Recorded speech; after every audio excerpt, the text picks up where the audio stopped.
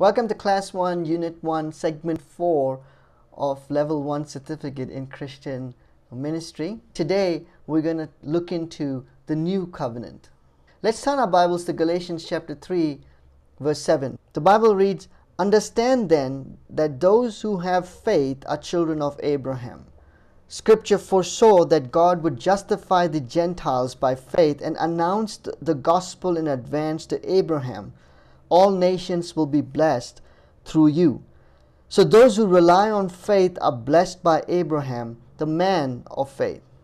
For all who rely on the works of the law are under a curse, as it is written, Cursed is everyone who does not continue to do everything written in the book of the law.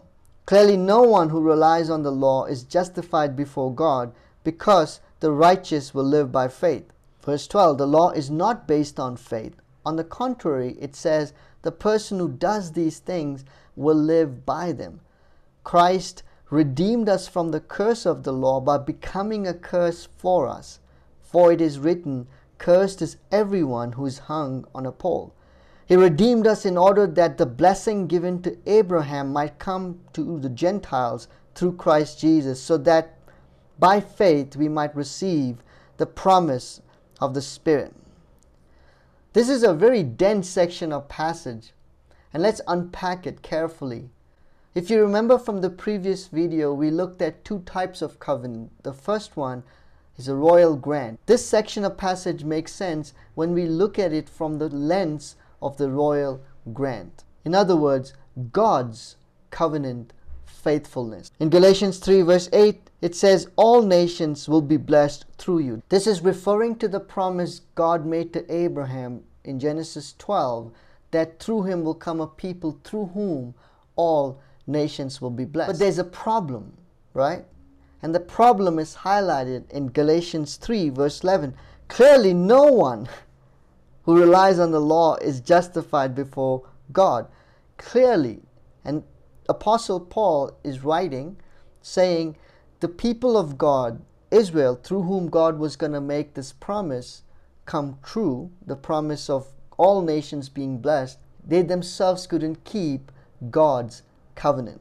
In Galatians 3, verse 13 is the answer Christ redeemed us from the curse of the law by becoming a curse for us. And this is referring to the covenant curse that God says will happen when God's people didn't keep the covenant. So Jesus did for us what we cannot do for ourselves. And that is how God's royal grant, God's promise to rescue all nations has been fulfilled. And so when we talk about the new covenant, it is so essential for us to start with King Jesus. New covenant is God's unconditional covenant faithfulness in and through Jesus Christ. Now let's continue with this line of thinking. So as we spoke about two types of covenant in the last video. We see the royal grant, but what about the suzerain vassal or the conditional type? So it's both. There is the unconditional part, God's part, that God fulfills in and through Jesus' death and resurrection. And He invites us to be partners, to be relational partners in covenant relationship where we obey the covenant requirements. That's the conditional part. So let's turn to Colossians 1, for example, verse 22. But now he has reconciled you by Christ's physical body through death to present you holy in his sight, without blemish and free from accusation.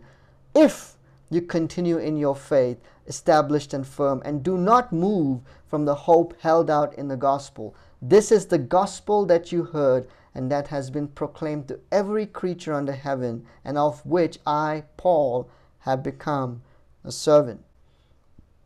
Did you pick up on the conditional if? And if you remember from the previous video, is the similar flavor if then. This is not just merely individual as much as it is, it's also communal. That is why when we serve our Bible talks, our family groups, our church, we are calling both ourselves and others to covenant faithfulness. Here's some reflection questions from the session. What did you learn from this session? What convictions are being formed inside you? How does New Covenant affect your particular family group or Bible talk that you're part of? Look forward to seeing you in our next video. We'll begin with Unit 2, Old Testament Survey. Till then, God bless you and thank you for watching.